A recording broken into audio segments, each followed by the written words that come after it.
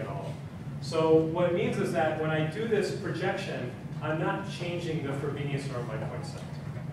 Which means that I've taken the squared length along here for V1, the squared length along here for V2, and if I if I add those up, I'm going to get the I'm going to get the sum of these is going to be the um, um, Frobenius norm of P.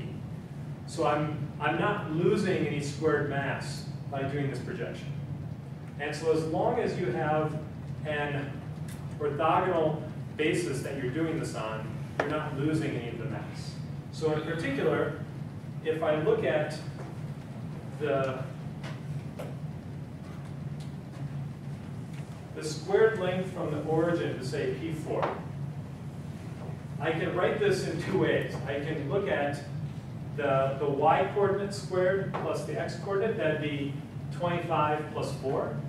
I can also look at the projection length along V1 squared plus the projected length along V2 squared. And that's also going to give me 29. So to, get the distance, and that's because if you look at the distance along here, let's say this is some length C, this is some length A, and this is some length B, then the, the um, you know by the, uh, um, by the Pythagorean theorem that c squared is equal to a squared plus b squared. It's also true that, that I can also, so that a and b correspond to these, the black lines, and the green lines corresponded to this um, a prime and, and b prime, then this is also equal to a prime squared plus b prime squared. It's just a different decomposition. So squared length you can decompose like this. Okay. Um, um, so let me finish up. So there's uh, um, so what's what's uh, so so so what you want to do in order to if you want to take a matrix and you want to capture kind of the core part of this matrix, you want to use some subset of these singular values. You usually want to say what is the top k of them. And you can know how important they are by looking at, the, at these singular values. And if the mass gets small, these are going to be, these are in sorted order, remember, so the biggest one is first. The mass is smaller. Once it gets to a small amount, you know you haven't lost a lot in the projections just by looking at these, these um, singular values.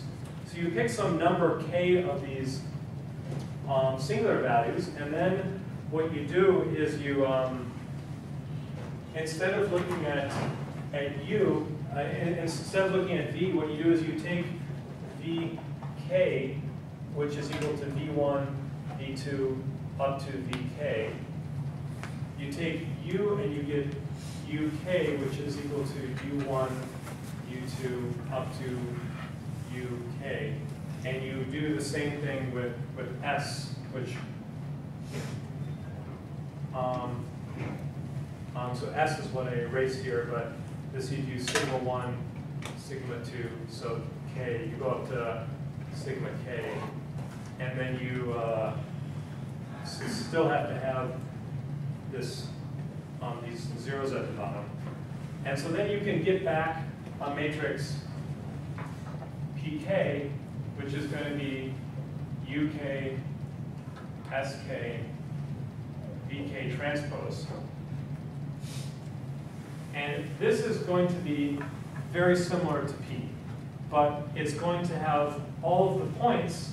You're going to solve all your points, but they're going to lie in this lower dimensional subspace. This is all this stuff I told you about projecting and so forth and transferring to the points. That's handled if you, if you, if you truncate these matrices properly. So if you have a very large dimensional space, you want to find a small dimensional subspace which is going to capture this. You cut off all these matrices at some value k, and, and you multiply them back together, and you get this projected point set.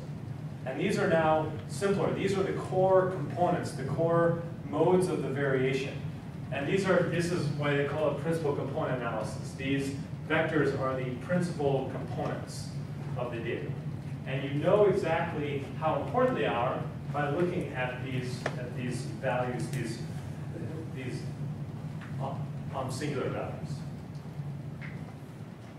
So, um, so, so, so when you're dealing, so the, the okay, so yeah, I, I probably spent too long going through the, the how to try and think about the um, um, um, um, the geometry of this. But the point is if you have a high dimensional, say, point set or data set, you can find kind of the low dimensional parts of it, the major modes of the variation of the data, um, by doing the principal component analysis and then extracting out this part of it. And so whenever you have high dimensional data, this should really be one of the first things you think of doing to try and simplify and find the kind of the lower dimensional subspace. And it's, it's, it's really easy to do you have, you know, in your advantage. You just pick k up, you just pick a value of k where the, that, the last value is just like as small as you want it to be. Pretty much, yeah. So there's no, there's, there's not one right way to pick k, right? You, it's the same problem as in clustering. You needed, how many clusters do you pick? So you can use some of the same techniques where you can look at these values that are already sorted for you and see when they start to drop off. And in a lot of data, there's this high dimensional data, but there's some lower dimensional phenomena which is causing it. And you'll see kind of these values get really low really quickly. Um, and, and so it'll seem like an obvious place to cut them off if you look at it. Sometimes you get these heavy tail data where they kind of um, like kind of keep going, and then the there can be a lot of, they're, they're pretty small, but there are a lot of them they can add up, and that's when it's harder to figure it out. But usually, there'll be some nice cutoff that, that you can do, especially in much smaller data. In really, really big data is when you start seeing these weird phenomena like that, the scale of the, the graph of Facebookers. Um, yeah, okay, so uh, if you're interested in how this relates to the, the eigenvalues and stuff I talked about a while ago, that's described in the notes as well. So these are, if you do the PCA on the like, um, if you do the SVD on P transpose P, or um, then th then you're going to get out the eigenvalues instead of the singular values. So, so, all right, so um, have a good spring break. Um, hope you get some some um, preliminary stuff done for your projects for um, the Monday after you get back. Are you here all right? I should pretty much be here. I haven't made any plans yet, but I might have gone for a day or so.